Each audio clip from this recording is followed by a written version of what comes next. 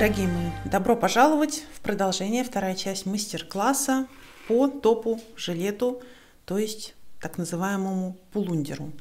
Разные, как у пуловера с воротником и без воротника, как просто жилеты, которые принято носить на голое тело, но можно носить как угодно в комбинации с рубашками, водолазками, топами, майками, как хотите. Так, смотрите, мы с вами остановились в прошлой части мастер-класса провязали до горловины топ просто по прямой сейчас я вам скажу сколько же этих совиных глаз я провязала раз два три четыре пять шесть семь восемь девять 10, 11, 12, 13, 14, 15, 16, 17, 18, 19, 20, 21, 22, 23 глазика. Провязываем. Так, высоту.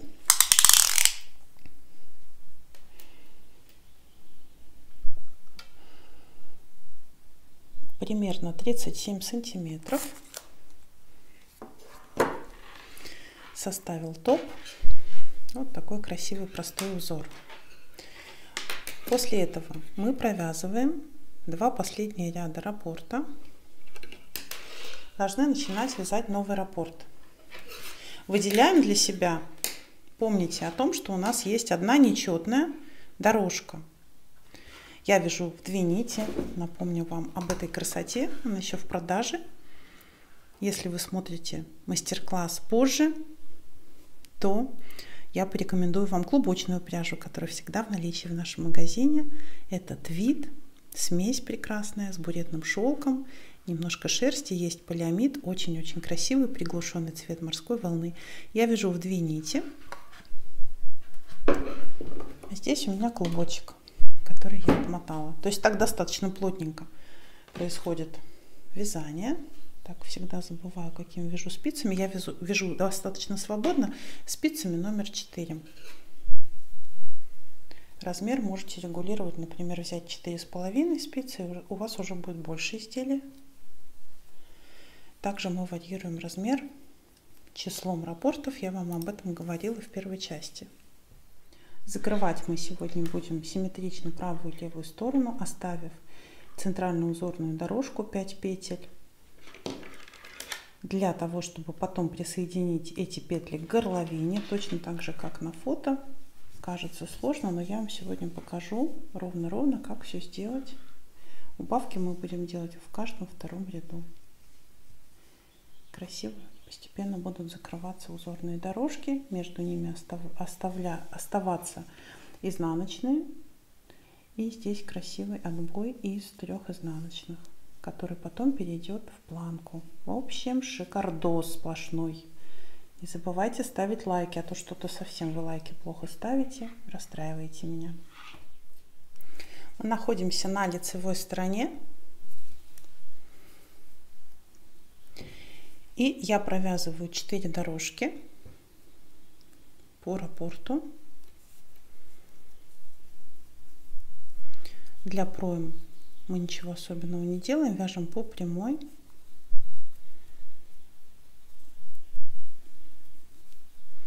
Итак, 4 дорожки я вяжу как обычно. Это наш узорообразующий ряд.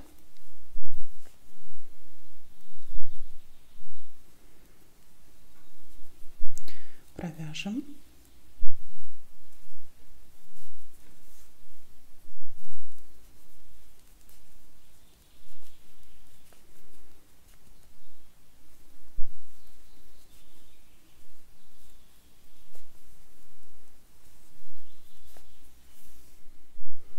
Сегодня речь в мастер-классе пойдет о том, как связать красивый вырез.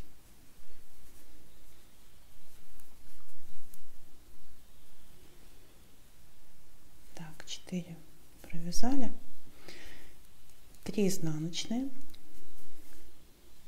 Раз, два, три, четыре. Пятая дорожка в моем случае. Если у вас больше размер, то вы вяжете до центральной ажурной дорожки. У меня пятая перед ней, у вас может быть, например, шестая, если размер больше, или четвертая, если размер меньше. Короче, центральная, правую от нее узорную дорожку мы провязываем так. 2 петли вместе с наклоном вправо, накид, а 3 петельки после этого мы провязываем, посмотрите, просто с наклоном влево. То есть у нас на половинку. Мы больше не провязываем второй накид и просто сокращаем вот так 3 петли с наклоном влево. Теперь мы провязываем раз, два, а, две изнаночные, третью изнаночную и делаем прибавку. Вот так из протяжки перевешиваем, провязываем четвертую изнаночную.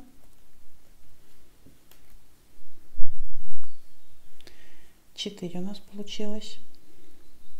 Центральную дорожку мы пока вяжем. Провязываем как обычно, 2 вместе с наклоном вправо, накид, центральная лицевая, накид, 2 вместе с наклоном влево.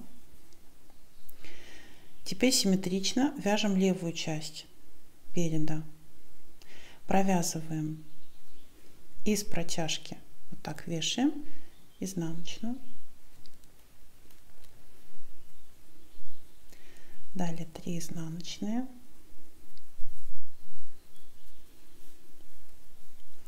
теперь нам нужно провязать 3 вместе лицевой с наклоном вправо я вот так их перевешиваю подхватываю левой спицей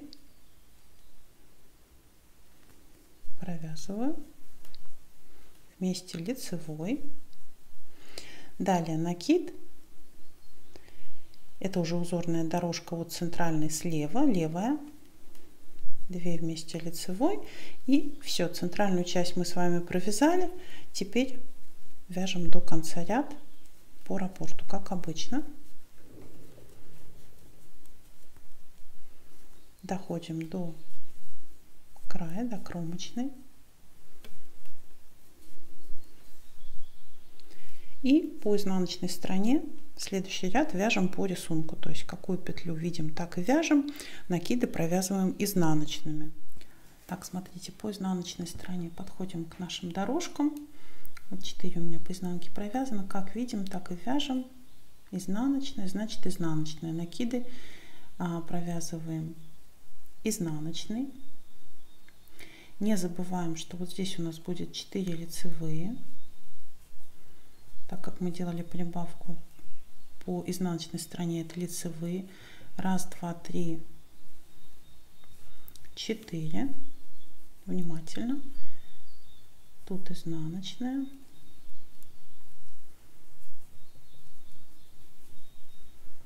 Переворачивайте на лицо, смотрите. Вот здесь лицевая, вот у нас прибавка.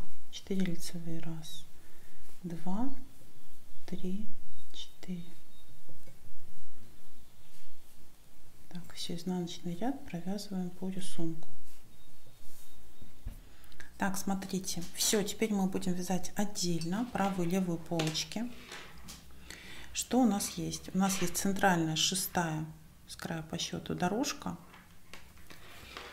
Вот эту дорожку, центральные ее петли, мы переснимаем на отдельную булавочку и отдельно переснимаем левую часть полочки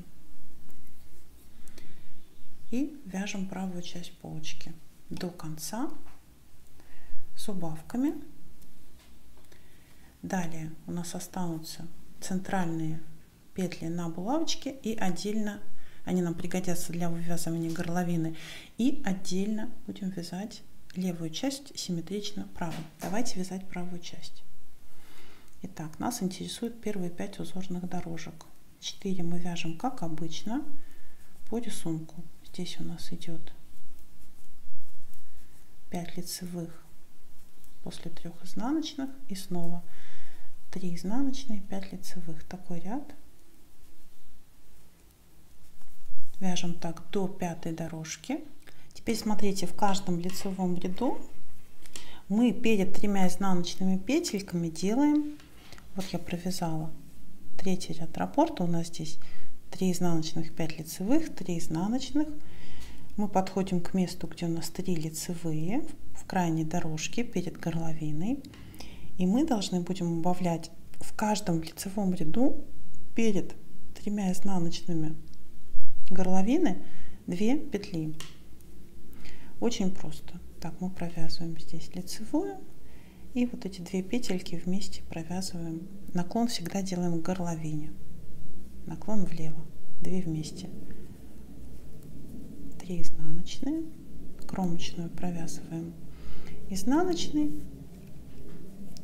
и лицевой провязываем кромочную в изнаночных рядах для того, чтобы нам легче потом было петли набирать. Провязываем лицевой, далее вяжем как в нашем узоре по рисунку четвертый ряд раппорта.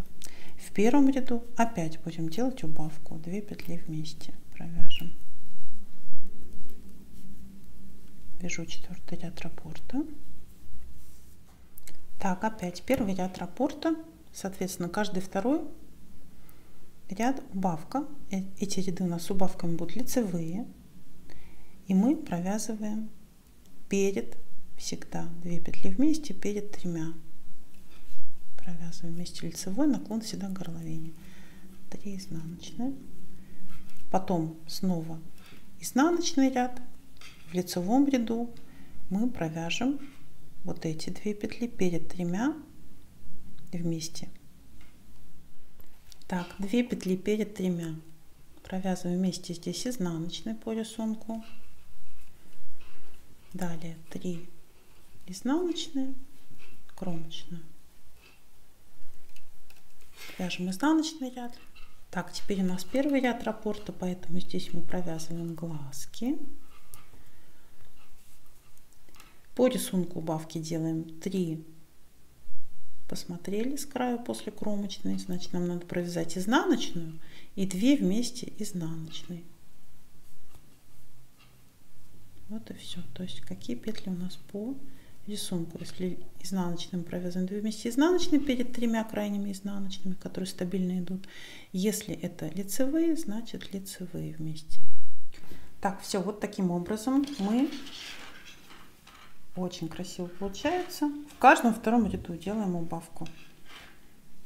Останавливаемся, еще раз повторяю, за 3 изнаночные петли. Если у нас по рисунку идут изнаночные, мы провязываем 2 вместе изнаночные. Если у нас часть узорной дорожки, то мы вяжем 2 вместе лицевой с наклоном влево. И вот таким образом, смотрите, мы убавляем раз, два, три дорожки Здесь пока закручиваются, но потом будем набирать нашу красивую горловину, и будет просто шикарно. И доходим, посмотрите, до чего у нас развивается история. До того, скос плеча нам здесь не нужен, потому что плечо у нас небольшое. Будет еще обвязка, а, планка. И мы доходим до того убавками, что у нас остается 3 изнаночные, 2 дорожки и 3 изнаночные с левой стороны. Вот. И по рапорту уже без убавок довязываем два последние рапорта без дырочек. После этого в первом ряду рапорта мы плечо свободно закрываем, провязывая по 2 петли вместе, как обычно, не стягиваем. Также очень внимательно отнеситесь к тому, как я вам говорила, что мы провязываем петли горловины лицевой по изнаночной стороне и изнаночной мы провязываем как обычно кромочную по лицевой стороне. Закрываем одно плечо. Центральные петли центральной дорожки переносим на маленькую булавку и симметрично вяжем левую часть левую полочку. Следите за тем чтобы когда вы провязывали лицевые по 2 вместе, вот так свободно закрываем плечи, следите, чтобы наклон был уже вправо. Всегда будем вязать 2 вместе с наклоном вправо, то есть в сторону горловины. Сейчас я закрою плечико, перейду на правую полочку. Вот и все. Такова деталь переда. И останется нам с вами связать почти такую же деталь, только без этого выреза сложного спинки и выполнить планки пром и красивую такую же, как на фотографии, планку горловины.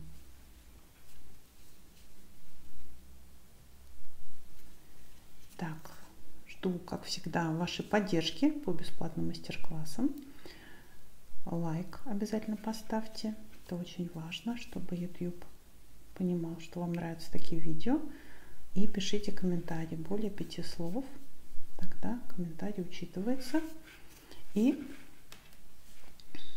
так, что я еще хотела вам сказать. Если здесь а, у нас мы вяжем на больший размер, у вас предположим, вы хотите какой-то широкий фасон связать, о чем мы говорили в первой части мастер-класса, тогда вы можете заранее, не заканчивая, например, за два раппорта узора связать небольшой скос плеча, если у вас здесь вот большая ширина. Да? Не прямое сделать плечо, а скос, если оно широкое. Так как у нас плечо совсем не широкое, мне этот скос здесь не нужен, как у модели. Если будет широкая, например, на раппорт, нет, на два раппорта, вот начиная с двух раппортов по ширине больше, тогда обязательно делайте скос, закрывая по 2 петли, по 5 петель вместе. По 5 петель каждый раз со стороны проймы. И для того, чтобы не было лесенки, не провязывайте никогда кромочную со стороны проймы. Тогда у вас будет ровный скос. Я много раз в своих видео это показывала. В нашем случае глубина выреза составляет 29 а, сантиметров. Ну, у нас еще будет обвязка и плечико. Лайфхак, если вам нужно маленькое количество петель переснять и оставить на какое-то время закрытыми, вы можете воспользоваться маркером. Одним или несколькими. Можно и большое количество петель а, переснимать на несколько маркеров. Вот, мне нужно центральную часть, поэтому таким образом. И теперь можно вязать правую полочку.